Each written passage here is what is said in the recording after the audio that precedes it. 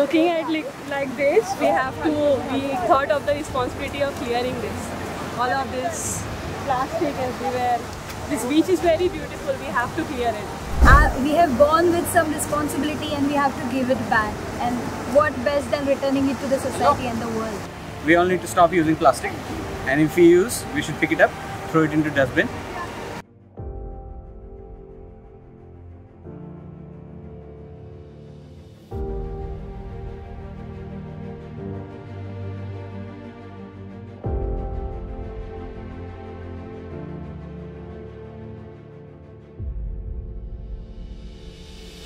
So today we got the opportunity to the beach cleanup. So it is like the cause where we can give back something to the society.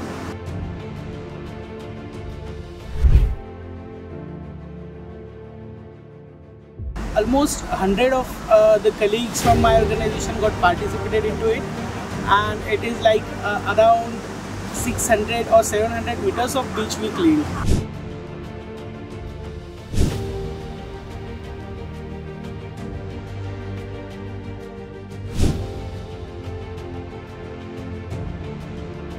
Why there's so much of debris and so much of, you know, plastic everywhere?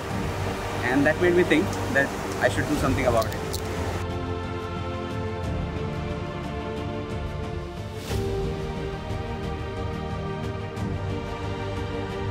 I think it's a noble cause uh, to help clean the beach. The biodiversity uh, that it creates, or that it, it disturbs by the plastic pollution. I think it's good. Everybody should should come back, step forward to this entire noble bit of it. This is when we all come together from different teams. It's, we take it as a collaboration activity, but eventually we see how much we are helping the nature, the, uh, the world and the society. And that's the great feeling that I believe I can contribute something. It's a great way to collaborate and great way to give back to the society.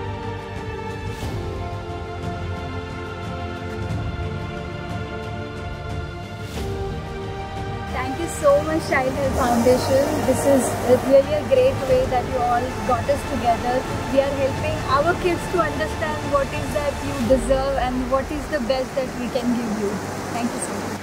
Uh, thank you so much, Child Help Foundation, for getting us together. Uh, this is a small step in the right direction. I really want to thank Child Help Foundation for supporting us, guiding us in, in this initiative, giving us this opportunity. And I think we should do it quite often. And I would encourage all these people listening over here to come over.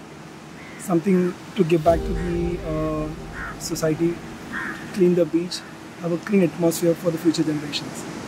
Thank you Child Help Foundation again for giving us such a beautiful opportunity. Thank you.